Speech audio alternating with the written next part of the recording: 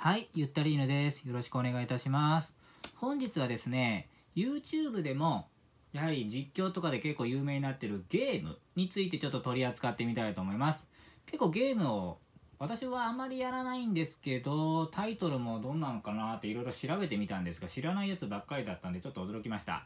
皆様はどうでしょうか？いろいろやっていますか？やはり YouTube とかも見ているとゲーム実況多いですよね。なんだろうっていうゲームいっぱいあるんですけど、世界を目に向けるとやっぱいろんなゲームがあります。さて世界ではどんなゲームが売れているかご存知でしょうか？まあ日本だといろいろと名前出せるやつ多いとは思いますけど世界ではどんなゲームが売れてるのかなっていうのをちょっと調べてみたみましたんで本日はその話をしてみたいと思います。さてゲーム。まあいろいろパソコンでやったり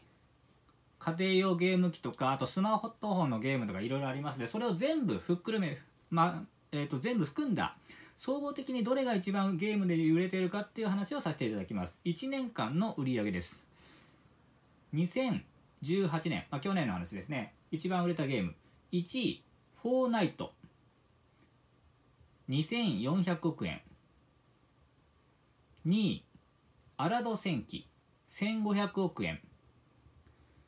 3位リーグオブレジェンド1400億円。もう正直言います。私この3つほぼ知らないですね。な3位のやつがリーグオブレジェンドが聞いたことあるな程度ですね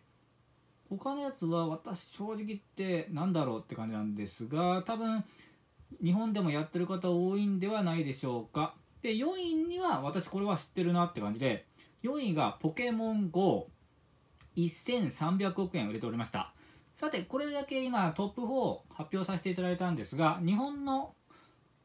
会社もちゃんと入ってました。7位 Fate of Grand Order 1200億円、まあ、これもやっぱすごいですね。やっぱ人気なんだなと思って。であとやっぱりよく言う聞くのが9位モンスターストライク1000億円ですね。やっぱここら辺がやっぱり有名どころですごいなと思うのと同時に1位のフォーナイトなんか2400億円なんで1年間で1ヶ月に200億円売ってるってことですか？もう信じられないという言葉しかないんですけどそれだけ売れているゲームなようです。やはり YouTube とかも調べたりするとやはり実況されてる方も多いようでよく見ます。私もこれなんだろうタイトルはよく知らなかったんですけどなんか調べて動画を見たらあこれ見たことあるっていうのがあったんでやはりこれも有名なんだなと思いました。まあどっちにしても1位で「フォーナイト」で2400億円売れている。やっぱりゲームってすごいなと思うと同時にやはりそれだけ市場としては規模としてはかなり大きいのではないかでしょうか。こう考えるとやはりこれから e スポーツ、まあ、ゲームの大会で賞金が出てくる話なんですがこれの話もやはりいろいろ絡んできそうな感じがいたします。やはりなんでしょう e スポーツ。で私がよく聞くのは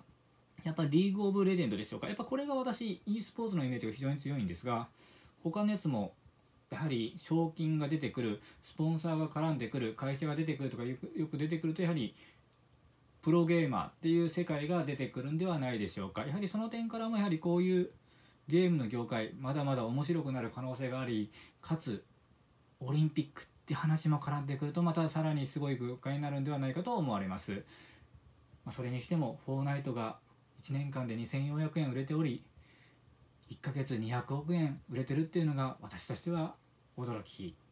なんですけどね。皆さんはどう考えたでしょうか？本日はありがとうございました。ゆったりぬでした。